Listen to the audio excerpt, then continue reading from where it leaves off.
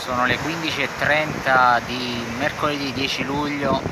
c'è appena stato un forte temporale su tutta la costa molisana, grandine in alcuni punti, pioggia su Termoli. Questa è la situazione del mare alle spalle del depuratore del porto di Termoli. Possiamo ben vedere il colore marrone, l'odore è nauseabondo, questa è l'enorme chiazza che si espande e che arriva fino alla costa.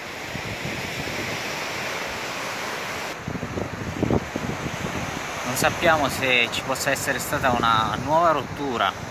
dalla condotta del depuratore né se c'è uno scarico più vicino al depuratore stesso però questa è la piazza, questa è l'immagine che si vede ben distinti i colori nelle acque dell'Adriatico che bagna Termoli